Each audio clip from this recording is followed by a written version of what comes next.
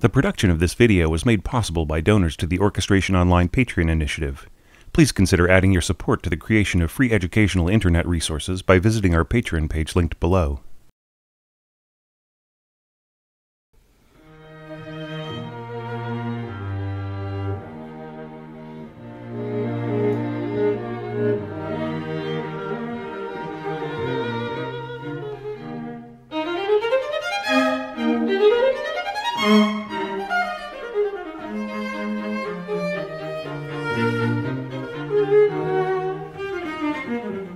Welcome back to the massive open online orchestration course.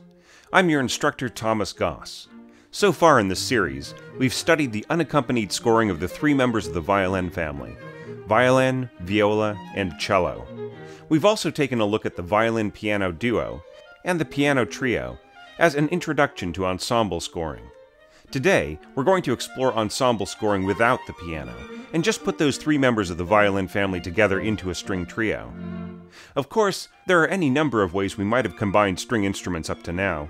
Violin duos are a form to which quite a few composers have contributed. It's only natural that a couple of violinists might want to play duets as a kind of musical socializing, or for a master to play alongside a pupil. Other duos team the violin up with the viola, or with the cello. Though this kind of writing certainly contains its own lessons, we're passing over the string duo genre for now and building on our training toward more universally established forms. Information tends to be a little vague on the origins of the string trio, with the common claim that it evolved out of the Baroque trio. Then again, the earliest version of string trio scoring was essentially a violin duo plus cello. Perhaps it was simply easier back then to find a couple of violinists and a cellist, rather than the more standard and well-balanced trio of violin, viola, and cello. For our purposes today, I have to say that it really doesn't matter who wrote the first standard string trio, or how they progressed the form. We'll simply be looking at the best examples of the genre from the end of the classical period, and observing the strong, well-developed approaches by the greatest composers of that time Mozart, Beethoven, and Schubert. There's nothing about these approaches that can't be adapted or updated to fit your own style of composing.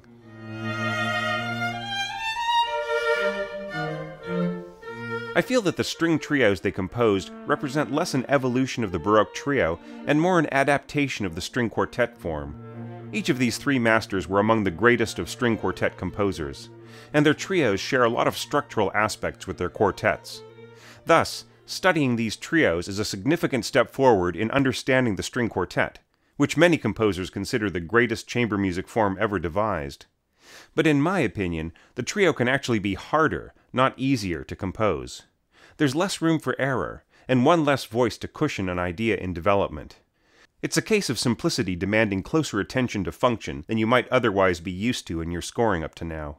Let's see why as we study the string trio in today's lecture.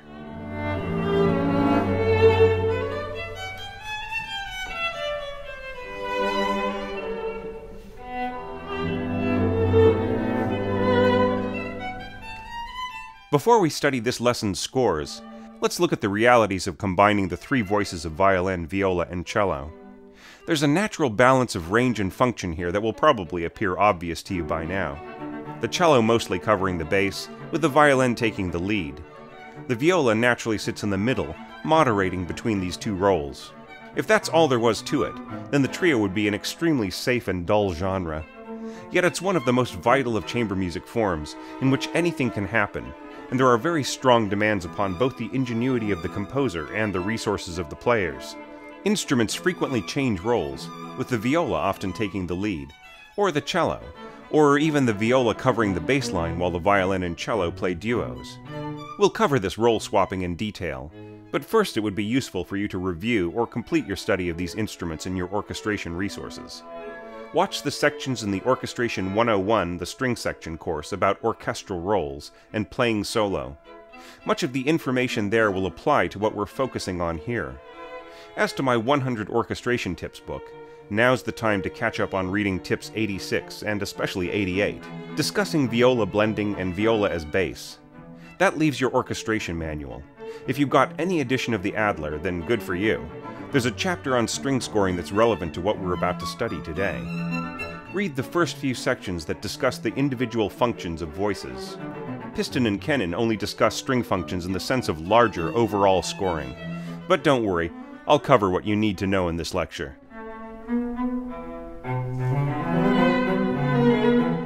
Just one more preliminary observation. I predict that your ability to absorb the training in MOOC Lesson 5 on unaccompanied viola scoring will largely dictate your success scoring string trios. As I explained in that video, we're accustomed to hearing violin and cello in more prominent roles. But not only does that mean that we subsequently need to do a lot of catching up with the viola, we need to understand that viola is really the glue that holds the string trio together.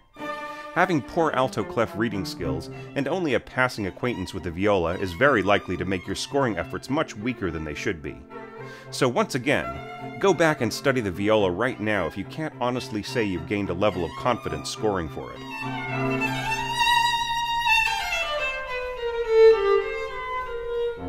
There's a fundamental difference between this genre and all of the others we've studied up to now. On the one hand, there's no piano involved. In the trio and duo scoring from lessons 2 and 4, we had to moderate the approach of the strings to compensate for the percussive sound of the piano. That actually imposes a somewhat unnatural average dynamic onto the strings. In softer passages, the strings simply cannot go down to a whisper without slipping underneath the piano's tones, however gently played. Similarly, even with the pianist pulling their punches, the strings will have to play extra forcefully in louder passages. So the act of removing the piano makes an enormous difference to the sound, in that the strings will find a more natural general spectrum of tone, and can literally play to the room, inhabiting an acoustic space much more instinctively without any added complications. On the other hand, the individual characteristics that we studied so closely in detail in lessons 1, 3, and 5 are still relevant, but they cannot be dominant for their own sake. Rather, they must become mutually reliant upon one another, even in passages where one voice or another leads. Orchestration manuals are famous for saying that the strings are generally homogeneous in tone, and that's sort of true. And yet the greatest orchestrators know how to make the most of ranges and registers to individualize functions, musical passages, and meaning in string scoring. And that's actually more and more true as the size of the string ensemble gets smaller and smaller. A 15-piece string ensemble will have a much more vibrant and dynamically varied tone than a 50 to 60-piece string orchestra. From there, the musical lines become ever more individual and intimate as we reduce down from octet to sextet to quintet to quartet, and ultimately to the smallest possible string ensemble of trio. That's another reason why I feel that trio scoring is actually more challenging a form than quartet scoring. You have to get the most out of the fewest voices, and balance the natural individuality of each voice against its group role.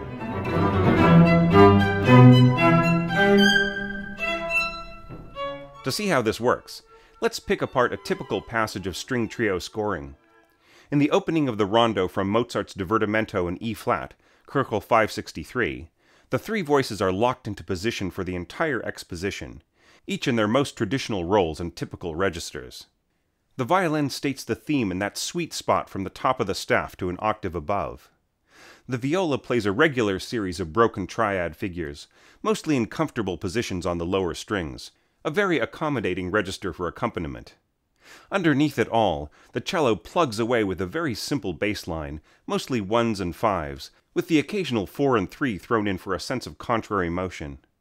Like the other instruments, the cello sits in a specific register for its role, playing mostly on the bottom strings and staying out of tenor territory. As I play the audio for this, really listen to not only the functions of the music, but also the timbres of the instruments and how they complement each other.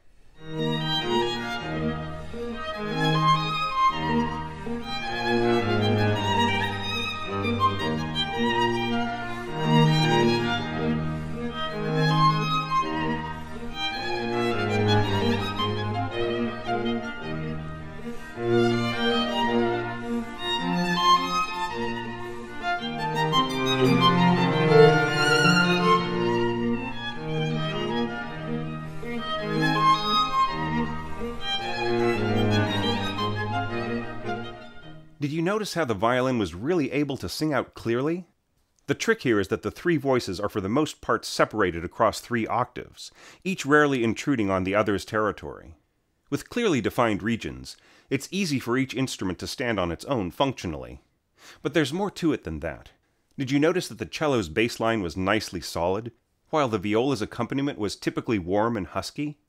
That's such a simple observation, but it reveals within it one reason why string quartets are so enormously popular, while the string trio is quite wanting in solid repertoire. It's also the reason why string sections in orchestras contain first and second violin groups.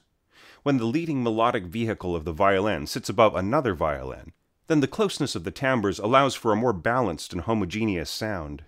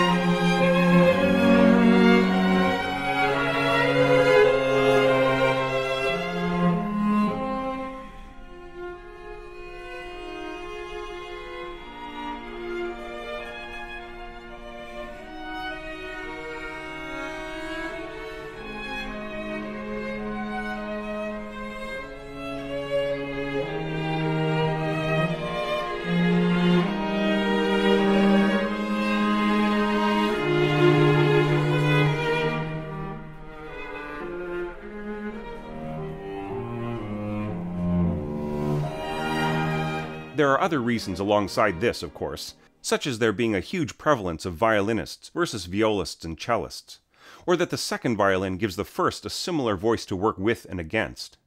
But in my role as an orchestrator and arranger, I see the first reason of tonal balance as the most pressing. And yet that's another factor making good string trio scoring a bit trickier than quartet scoring. The naturally clear, bright tone of the violin is partnered with two somewhat darker companions all the more reasons why the composer should use the timbral qualities of the registers to their best advantage. This whole question of balancing timbres is clearest when scoring close harmony. In the following passage from the first movement of Beethoven's String Trio, Opus 9, number 1, the voices start in four-part harmony, with the violins double stopping surrounding the viola's harmonization of the melody. This is nearly quartet scoring, but look at what the juxtaposition of the parts achieves for the instrumental registers. The violin part can only be played on the lowest two strings, as the bottom notes of the double stops are all lower than the third string. Here the violin is closest in tone to the viola, and the pianissimo scoring helps the upper line of the music fit the gentler D string quite aptly. The viola plays a perfect middle register part, never ascending as high as the A string. Meanwhile, the cello sits nicely in its bass staff range. Listen for the timbral outcomes of such scoring, how nicely dark the music sounds, even though played lightly staccato. Then observe the color of the development passage that follows. Not the melody in the violin, but the closely harmonized accompaniment of cello and tenor register, with the viola only climbing a little above its middle register here and there.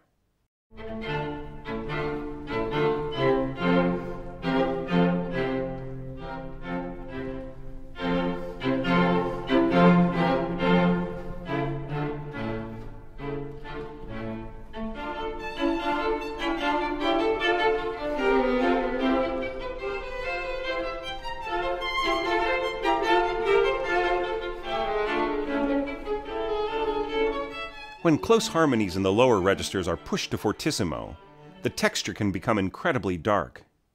Classical era composers didn't seem to like this sound too much, but it was an apt color for late Romantic composers. Listen to the rich, foreboding quality of this passage from Max Reger's second trio, Movement 1. It starts with a triple octave statement, played on the lowest, gruffest string of each instrument, leaps up nearly two octaves, and then climbs back down to a hugely forceful close harmony in the low register once again.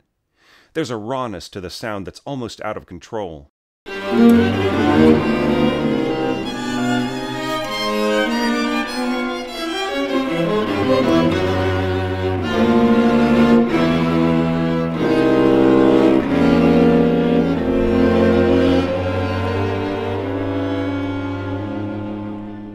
Taken to the highest register, the yearning tones of the cello and viola dominate the close harmonies, especially in more emphatic scoring.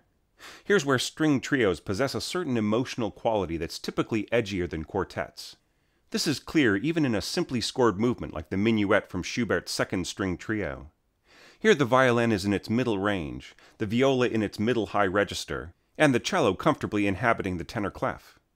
Listen to the tempered brightness of the timbre at the start. How the slightly rougher tones of the lower strings become radiant when capped by the violin. Despite this cohesion, timbral differentiation is quite easy to achieve by slightly pulling apart the ranges and functions. That's obvious at the start of the second section, but listen for the more subtle effect after the final restatement of the main theme, where the unique sound of the higher placed viola and cello provides a lovely contrast to the violin's arcing lines. In a string quartet, such a passage might be scored with a more convenient second violin on the middle voice and viola on the bottom. But then this contrast would be lost.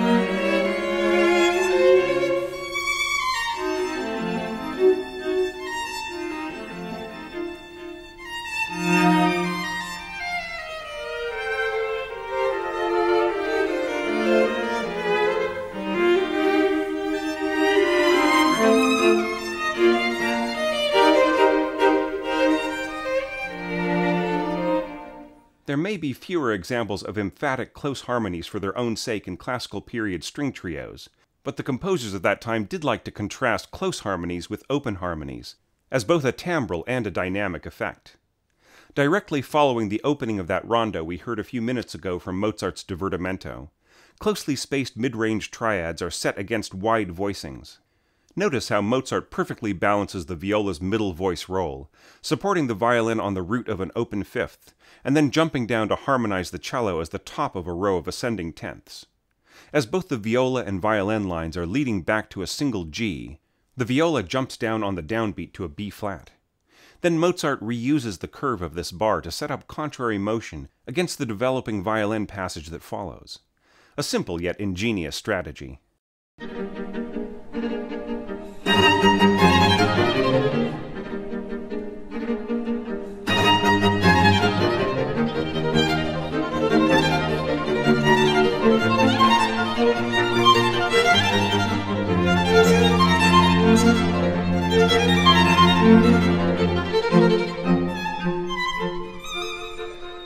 This naturally leads to the question of how well the wider spacing of harmonies and independent voices works in string trio scoring.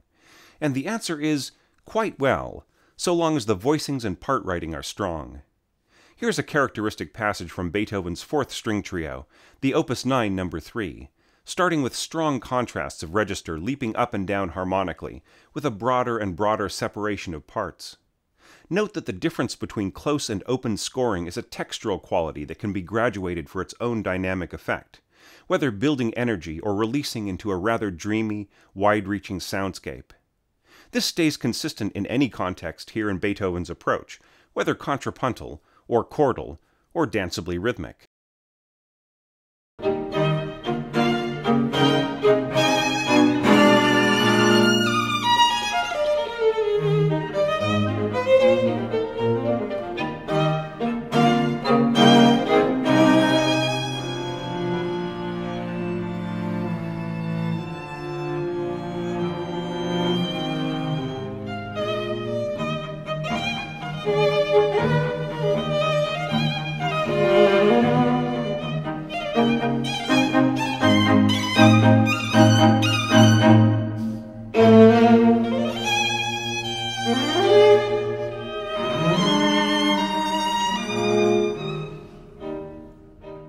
There's an enormous amount of ground to cover when dealing with scoring three voices, of whatever instrumentation. As I've made clear with this course all along, I'd like to keep the focus firmly on the ways in which texture, balance, and function relate to the unique qualities of each instrument, and their possibilities in different combinations. But just because I don't cover harmonic rhythm or counterpoint here doesn't mean that you shouldn't study that as well. In fact, I'm hoping that you'll at least get up to speed a bit with these topics so I don't have to backtrack too much. So let's just limit most of our discussion of function right now to the melodic and thematic. Or, more simply put, what are some good strategies for assigning the most prominent voice to each member of the trio, and what are the implications for the accompanying voices in each case? The most obvious scoring strategy is the one we saw in the Mozart rondo violin on melody, viola playing patterns for accompaniment, and the cello covering the bass. Even within this standard architecture, you'll find a huge variety of approaches. I love this passage of the rondo from Beethoven's Fourth Trio. Beethoven uses simple but effective part writing to create motion and interest between the parts, while still keeping them interdependent. Just like Mozart and Haydn before him, Beethoven wastes no gesture, but finds different ways to get the most variation out of the fewest ideas, which become all the more powerful for the intensity of their development.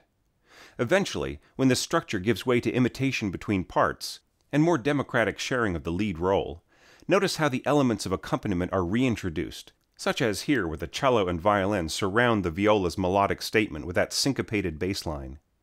I'll let this excerpt play out to the end of the episode, where the strings take up dreamy zigzagging patterns all the way up to this extraordinarily voiced chord. Pay close attention to the sound of that configuration, as we'll discuss such voice crossings in a little while.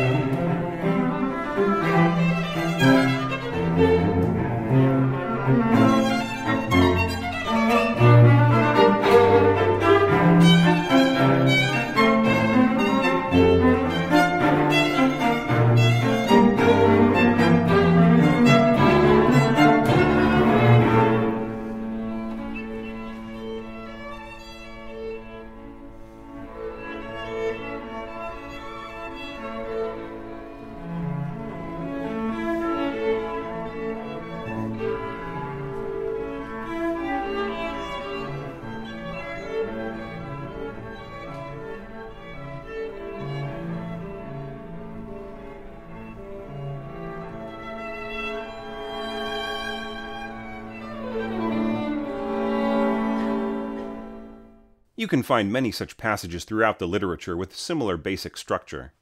Since every instrument is in its ideal position, it's easy to come up with many very natural sounding approaches. But let's take a look at how the equation changes when the cello or the viola take the lead melodically without crossing over the natural range of their ensemble partners. Back to the Mozart Divertimento. In the second movement's final variation, the viola plays a very simple, slow, extended melody. At almost no point anywhere does any voice cross, despite the bustling cello part and the frantic violin runs. Note how the balance works because a fast détaché bowing lightens the outer parts, while the viola stands out naturally with nice long bow strokes.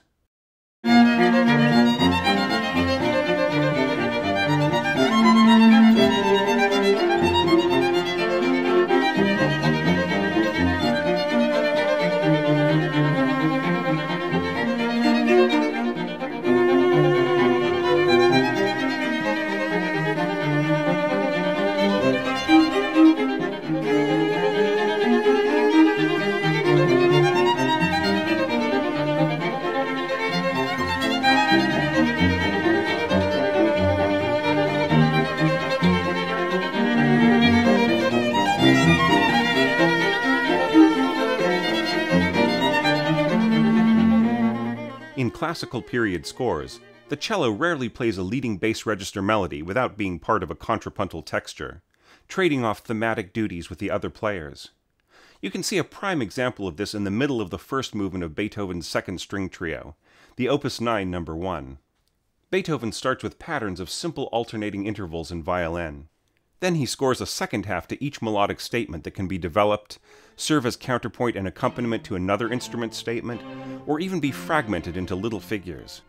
This keeps the resulting individuality of each voice from overwhelming the other, and the whole thing locks together nicely like thematic clockworks.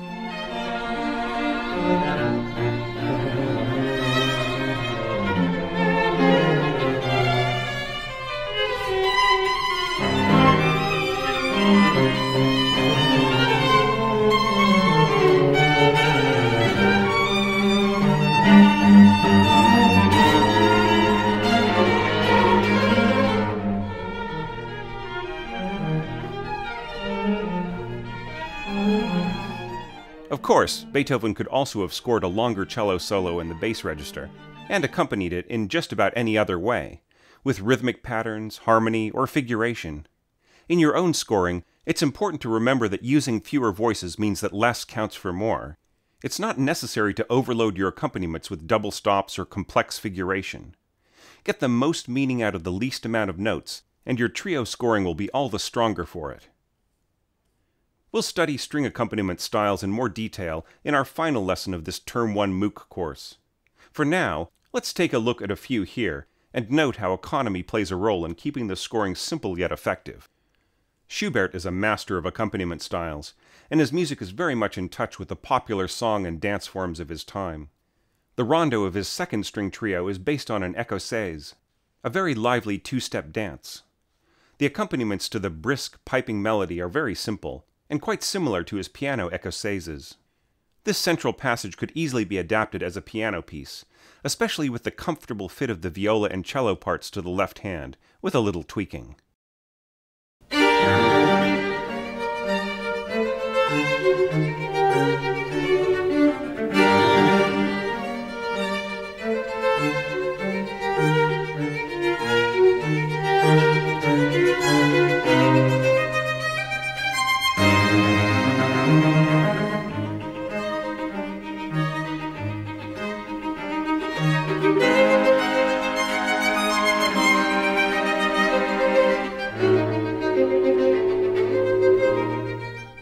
Sometimes the best and simplest accompaniment is to just repeat notes. The natural bounciness of bowing in measured tremolos can substitute for arpeggiated patterns or alternating intervals when adapting accompaniment styles from piano to strings. Schubert's first string trio features several passages in which a single note is repeated half a dozen bars, keeping the energy and pacing going while the other instruments have more significantly functional parts.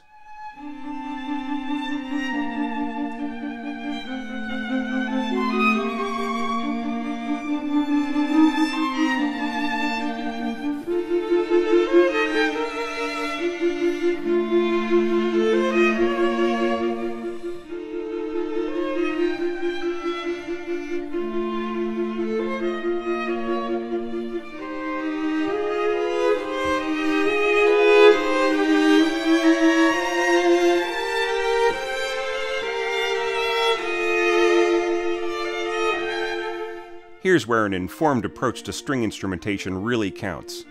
You can build a far more convincing rhythmic and harmonic landscape if you use the instruments in a natural way. For instance, this opening passage speaks of more than a decade of professional experience as a string player, even though its composer Beethoven was more of a pianist than a violist, and was only in his mid to late twenties when he wrote it. Observe the nicely placed registers of the accompaniment, and how easily all the parts sit on the instruments.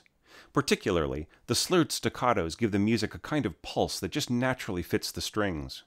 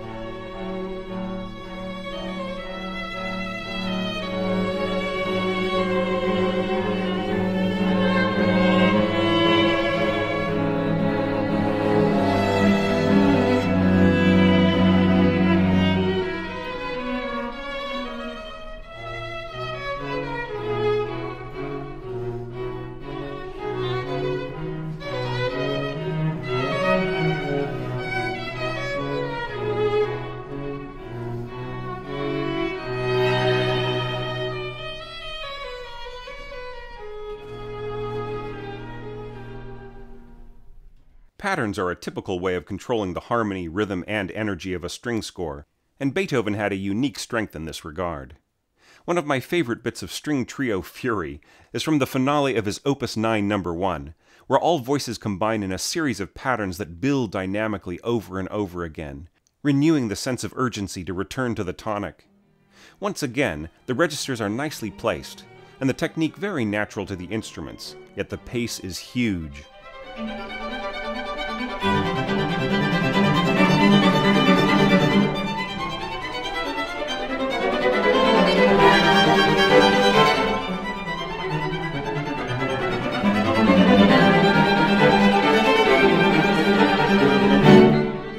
Back in Lesson 4 of this Term 1 MOOC, I introduced the concept of alliances, instruments that work together to explore a musical idea, often in contrast or opposition to another instrument.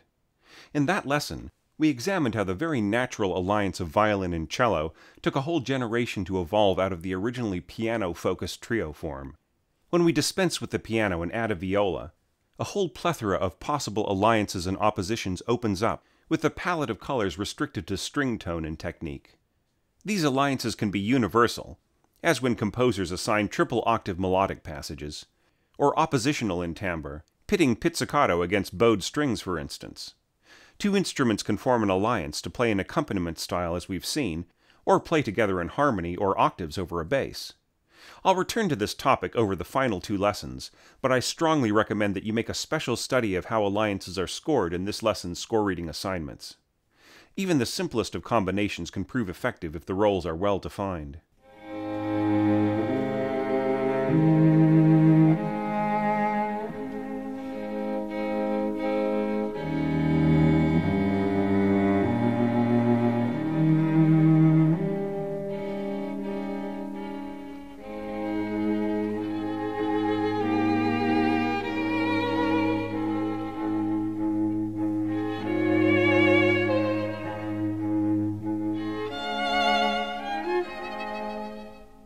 Our last main area of study in Lesson 6 is crossing voices.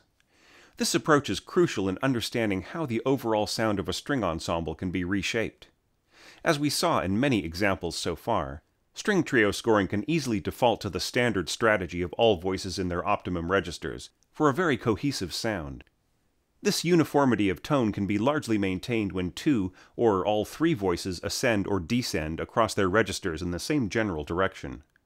But crossing voices subverts this whole plan in two different ways. The voice which crosses upwards, like a viola across the violin, or even the cello over both the viola and violin, will tend to speak as a chestier, more heart-strung high voice than the violin. Conversely, those normally higher voices which now must support underneath will usually be played on their lowest strings, like Sul G for violin and Sul C for viola. Admittedly, cello solos tend to represent the bulk of voice crossing and trio scoring, if not string ensemble scoring in general. For the classical era composers, these solos weren't limited to long, flowing adagio melodies, but might also serve as opening statements for faster movements. In this next excerpt from the rondo of Beethoven's Third String Trio, watch for two things. First, how the opening cello solo becomes a dialogue with the violin, and second, how publishers of this period tended to score the tenor register in treble clef, sounding down an octave.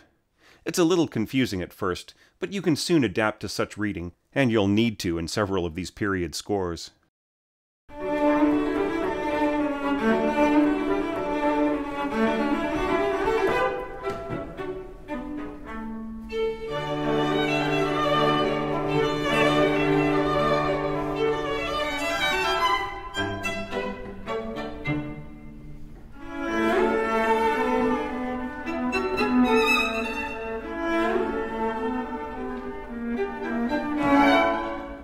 With viola as the closest instrument in pitch to the violin, there will be some inevitable trading off between roles in which voice crossing will naturally play a part. Mozart's Divertimento is full of examples of the viola emerging to quickly take a turn at the melody, perhaps soaring momentarily over the violin before diving back down again. Mozart establishes this approach from the first passage of the first movement. In general, his chamber viola parts are anything but boring, and even less so here.